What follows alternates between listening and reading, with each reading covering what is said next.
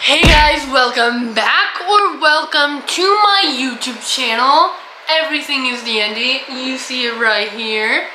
And I am going to tell you what to do in quarantine part 2.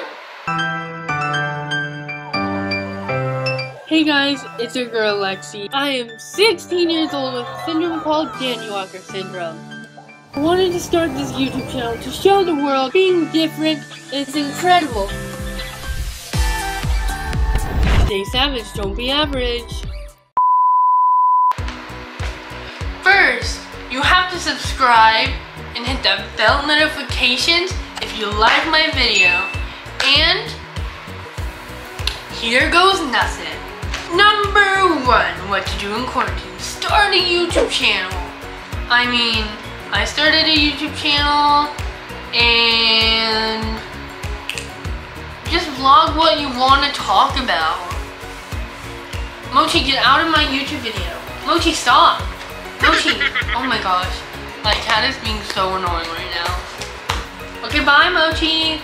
Ugh. Tip number two, watch Netflix shows. The last movie I watched on Netflix is we Can Be Heroes. And the show I'm watching right now is called The Circle. The Circle is where you can communicate on this TV. It's like text, but you can't meet the person face to face until the end of the game show. It's like a game show. Number three, do awesome TikToks. TikToking is like one of my favorites, but yeah. Number four, play with your cats or play with your dog. I mean, take your pet to, take your dog to Petco or PetSmart or even the dog beach or the dog park. Or you can try teaching your dog new tricks. Or teaching your cats new tricks. I taught my cats how to sit. That's basically it. And last but not least, number five. Hmm.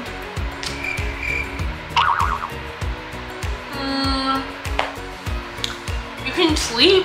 You can pray to God. You can mostly do anything. Or just, Make your bed.